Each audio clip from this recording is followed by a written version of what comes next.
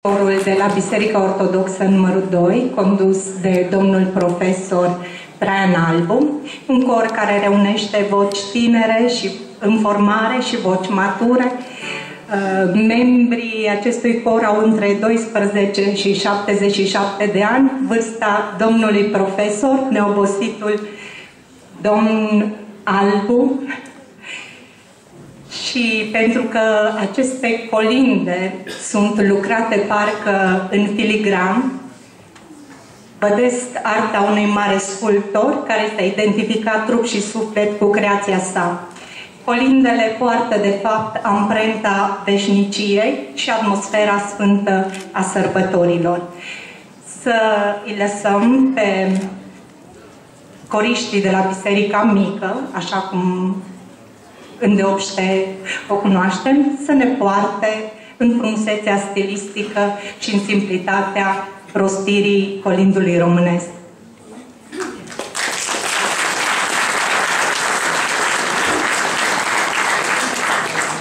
Ne-am născut într-o colindă, tot sub mila Domnului, și am agățat pe o grindă spiritul Crăciunului.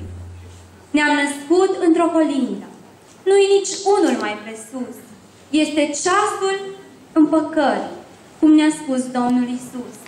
Aduc pacea și lumina, aduc bradul strămoșesc, de nuci mere, tot mai plină. E Crăciun și vă iubesc.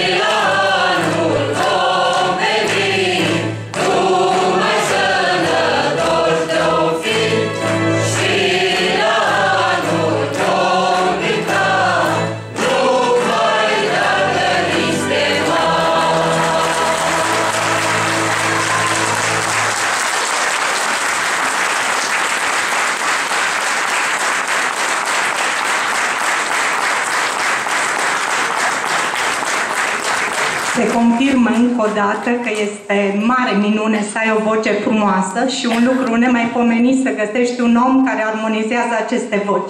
Mulțumim, domnule profesor, mulțumim, dragi coriști!